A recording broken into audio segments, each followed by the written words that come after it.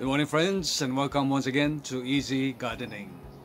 Uh, today is the 27th of June. It is the peak of winter here in New Zealand and right now 10 o'clock in the morning it's a chilly 5 degrees centigrade and the days are very short and just five days ago we had the shortest day of the year and it's called uh, the winter solstice which is five hours longer than uh, the longest day in December the significance of that is that uh, today we are ready to grow our uh, garlic because this crop is supposed to be planted during the shortest day and harvested right after the longest day in December.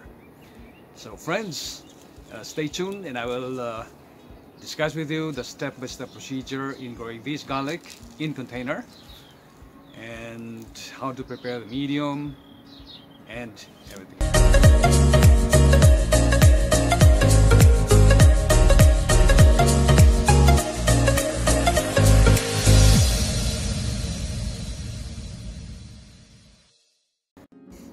Uh, so this is uh, the polystyrene uh, container that I'm going to use uh, to contain my garlic.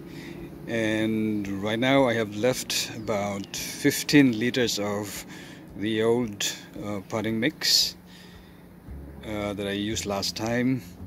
By the way this container can hold about 37 liters of soil medium. So that's 15 liters of the old mix and I'm going to add uh, another 15 liters of new potting mix. But uh, in addition I have here uh, my peat moss based uh, potting mix which I have prepared last time. If you haven't watched that video on how to prepare this peat moss based uh, potting mix uh, please watch it. It contains uh, the basic peat moss, some propagation sand, and some fertilizer and lime uh, additives. And in addition, I'm going to add uh, some sheep pellets, about a liter of this in the whole in the container. So basically, these are my ingredients uh, that would uh, recondition the the old potting mix that I used last time. so we now add 15 liters of potting mix. Uh, this potting mix contains about 30 liters, so just use half of it. So let's try to mix it. And then we add about 5 liters of this uh, peat moss uh, potting mix. Uh, this is basically organic, so this will really improve the structure of uh, the soil improve its water holding capacity but at the same time uh, improves the aeration in the medium as well as uh, its nutrient holding capacity. And we will add about uh, a liter of this uh, sheep pellets that would provide additional nutrients for the plants uh, organically. Finally, we have this uh, controlled release fertilizer. Uh, this is actually good for six months. So hopefully within uh, uh, the first six months of its growth, there is continuous supply of nutrients to the plants. Maybe we'll add about three scoops of these. This would be sufficient. Okay and then we'll just mix them all together.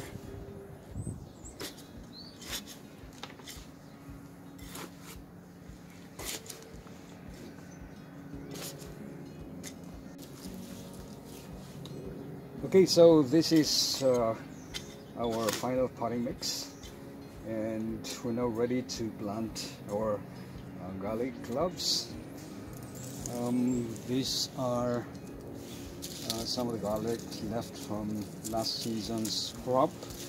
I'm going to separate the cloves together so you see should only use the bigger ones. So one uh, bulb has one, two, three, four, five, six, seven, eight, about eight cloves and we'll be using about 14 uh, cloves in this container so we will need about two bulbs for each container. Now uh, so first we should make sure that the base of the bulb which will form the roots is down and the pointed tip is upwards. And we're going to start at the center and plant it make sure that there is one to two centimeters left on top I mean it's covered with one to two centimeters of uh, soil. Uh, maybe we'll just position this first before we press it. Uh, so we have positioned all 14 uh, cloves on top of uh, the soil mix. We have five at the side and then another five at the other side and we have four at the center. And we're just going to press this. Make sure uh, the tip is covered with about one to two centimeters of soil. Just form it a bit. So there you are. You have planted your garlic.